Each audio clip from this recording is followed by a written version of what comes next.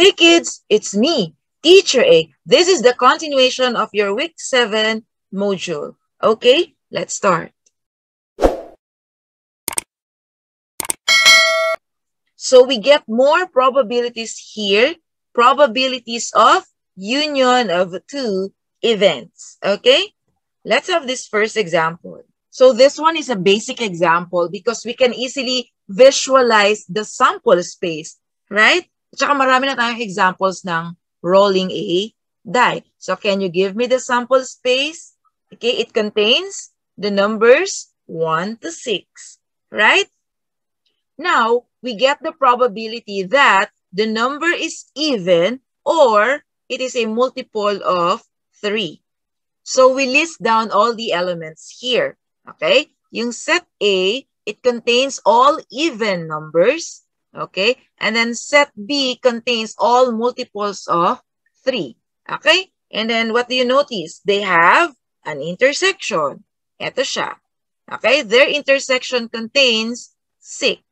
Okay? So that's why if I ask you to get the probability of A union B, we have this. Okay? What is the probability of A? Three elements in A divided by the number of elements in S. So you have 3 over 6. What is the probability of B? You have two elements in set B divided by the total number of elements in S. So you have 2 over 6 minus the probability of their intersection, which is 1 over 6. Okay, here. If you perform the indicated operations, you will get 4 over 6. And then you simplify, you will have 2 thirds. Okay, so this is your final answer.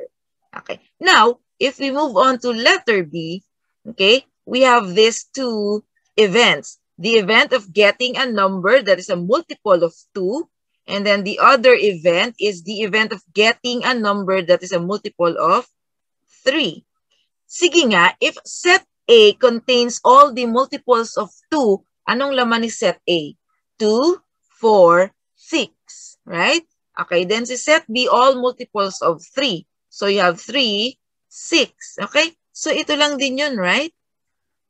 Okay? So the solution for letter A is also the solution for letter B. Okay? So we now move on to letter C. Okay, so we list down all the elements here. Ito yung set A. Okay, set A contains all odd numbers. Okay, and then set B, all multiples of 2. So we have this. And note that they are mutually exclusive events. Wala silang intersection. So it's easy to get the probability of their union. Okay? So here, sinulat ko yung merong probability of A intersection B. Kasi okay lang na ito yung i-memorize ninyong formula to get the probability of union of two events. Kasi kapag wala namang intersection, ika-cancel nyo lang naman yan. Okay? So, now we get the probability of A and the probability of B. And we have this. Okay? If you add, you will get 6 over 6, which is equal to 1. Okay? So, 100% probability. Kailan ulit ito nangyayari? Kapag yung union ng dalawang events, kapag pinagsama ko tong dalawang events na ito, ang sagot yung mismong sample space. Okay? If you have that situation, the probability is always 100%. Let's have this second example. Okay? A card is drawn at random from a deck of 52 playing cards. And then we get the probability of this too. Before we deal with this problem, it's nice to know the basics. Okay, what do I mean by that? For example, colors. Okay, what are the standard colors of a 52 card deck? Do you know? There are two colors. Okay, eto siya. Okay, red at saka black. Okay, ngayon, if I ask you, ilang red, ilang black? Okay, note that there are 52 cards in all. Since may dalawa lang kayong colors, all you have to do is to divide 52 by 2. Hahatiin nyo siya sa dalawa. Okay, so therefore, merong 26 na red cards at merong 26 na black cards. Okay? What about suits? Ano naman yung suits? Ano yung tinatawag na suits? Eto. We have four suits for a standard 52 card deck. We have, ano tawag dito? Clubs, diamonds, hearts, spades.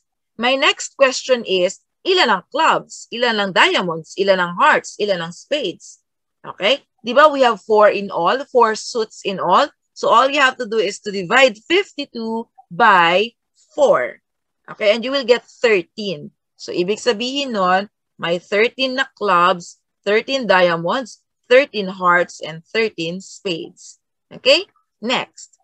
Paano naman kapag face cards? Anong ibig sabihin nun? Sila yung may mga mukha. Okay? So, yan. Jack. Okay? So, merong apat na klase ng Jack. Jack of spades, Jack of diamonds, Jack of clubs, and Jack of hearts. Okay? Yung next na face card, Queen. Okay, may apat na klase din ng queen. And then we have king. Alright? Okay. Let me show you a standard 52 card deck. So para lang siyang numbers 1 to 10. Okay, and then yung tatlong face cards. Jack, Queen, King. Okay? Yung 1, hindi talaga siya 1. Ang tawag dito, ace. Okay? Ace of clubs, ace of hearts, ace of spades, ace of diamonds. So I think we're ready to answer the problem. Okay? So first question, what is the probability that the card drawn is an ace or a king? Okay, so meron tayo ditong picture.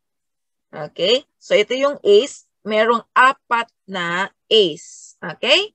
And then, merong apat din na king. Alright? So if you want to get the probability of their union, eto siya. Oh, by the way, meron ba silang intersection? Etong ace at saka king, meron ba silang magkamukhang card? Wala. Okay, so they are mutually exclusive events. Okay, so that's why to get the probability of their union, eto lang siya. Probability ni A, eto yung probability of getting an ace, plus probability of B which is the probability of getting a king. So we get 8 over 52, and then if we simplify, we will get 2 over 13. Okay, we divide the numerator by 4. We also divide the denominator by 4. Okay, now we move on to letter B. What is the probability that the card drawn is a king or a diamond? Okay, so again, may apat tayong king. Okay, What about yung diamonds? Meron tayong 13 diamonds. Again, from 1 to 10, and then yung 3 na face cards. So that's why we have 13 diamonds here. Now, meron ba silang intersection? Meron. Ito siya. Yung king of diamonds. Okay? So that's why if we get the probability of the union of these two events, okay, getting a king or getting a diamond, we have this. Okay, again, this is the probability of getting a king. So that's why we have 4 over 52. This is the probability of getting a diamond. Okay, minus, this is the probability of their intersection. So what is 4 plus 13? You get 17. Minus 1, you get 16. 16 over 52. Okay? Again, divide the numerator by 4, you will get 4. Divide 52 by 4, you will get 13. So that's why our final answer is 4 over 13. So I think that's it. I hope you learned something from this video. Please don't forget to like this video, share this video to your friends, and please subscribe to my channel for more videos like this. Thank you for watching. See you in my next video.